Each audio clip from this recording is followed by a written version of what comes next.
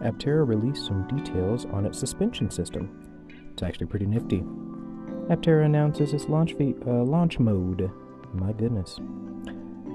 A YouTube channel I found this week talks to a rapper. What does this have to do with Aptera?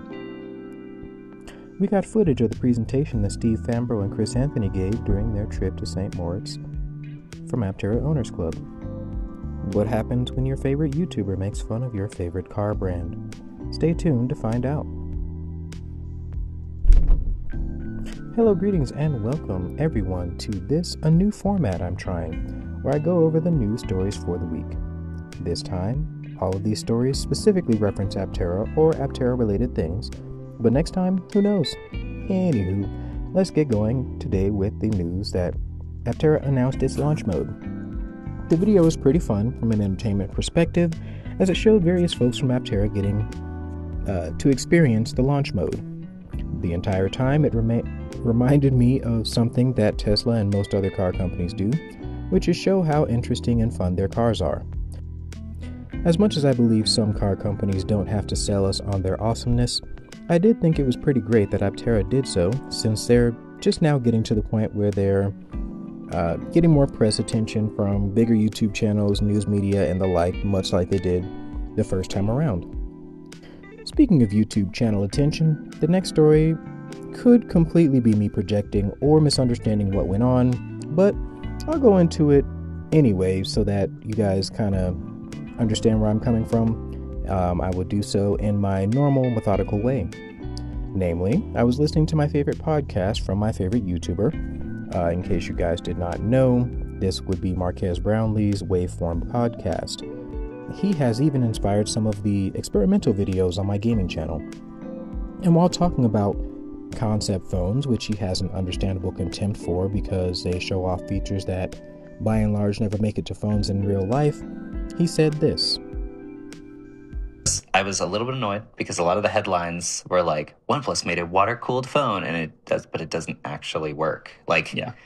They, they were they were like, yeah, this could work if we had the additional components to actually cool it. And I'm like, okay, but how much extra space is that going to take up? Is the battery going to be even more reduced? I made an electric car that goes a thousand miles on a charge. Just not this one. Just it does. Just but look at it. Yeah. Doesn't it look I, like it would go a thousand? Where's your pre-order? Well, doesn't it? I'll pre-order right I'll take yeah. your hundred bucks right now. Which I interpreted as an unusually specific dig at a car company that we are all familiar with on this channel. There is no other car brand that is looking to hit a thousand miles yet. There also is only one other company besides Aptera that currently has pre-orders going for $100, at least that I could find. There's also only one car company that I have specifically mentioned by name in the comments of one of his videos to take a look at.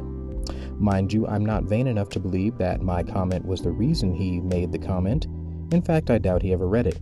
But I made the comment three weeks ish ago, and it takes me about three weeks to put out one of my longer videos, so yeah. All I can say on the matter is this is one of the few times in my life I have wanted someone I have a fair bit of admiration for to be wrong. But here we are.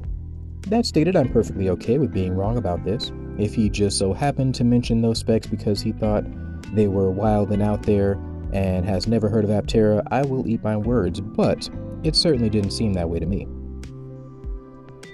Aptera released details of its suspension that were previously unknown to the public, they talked about how they did computer simulations of their suspension and went out and tested it in the real world. Apparently, those simulations were at a 95% efficiency or efficacy and informed them on their computer modeling moving forward. Basically, they didn't feel the need to test too much stuff in the real world, which means Aptera has a much less expensive uh, route to produce the vehicle.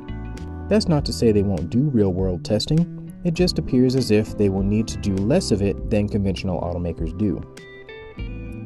The next thing I wanted to talk about was a video from Raj Gyandeep. Gyandeep? Yeah, I'm so sorry if I messed up your name. Who's interviewed someone who wraps cars professionally, hence the rapper. The interview itself was very interesting and in depth, and I encourage you all to watch it in full if you were ever interested in the nitty gritty of wrapping vehicles. Some things that were really cool about the interview were as follows. the gentleman interviewed spoke about the efficiency and efficacy of wrapping, its drawbacks and advantages, and how he felt about the Aptera uh, and how it would fare as a wrapped vehicle. Aptera Owners Club got footage of the presentation that Steve Fambro and Chris Anthony did in St. Moritz, Switzerland. The presentation had several nuggets and bits that we hadn't heard about. I'm so confident that you will watch and enjoy that video that I will just say go and watch it. I will not spoil the video, but the presentation was very cool and made me very optimistic that they can get into production this year. Alright, folks, please comment below if you think I'm blowing the whole waveform podcast thing out of proportion. Let me know what your favorite story was, or just have a conversation about Aptera. All the videos I talked about are in the description, and if you guys would like to reserve your own Aptera, follow my link below to get a $30 discount, making a reservation $70 instead of 100. Thank you guys very much for watching, and I'll catch you next time.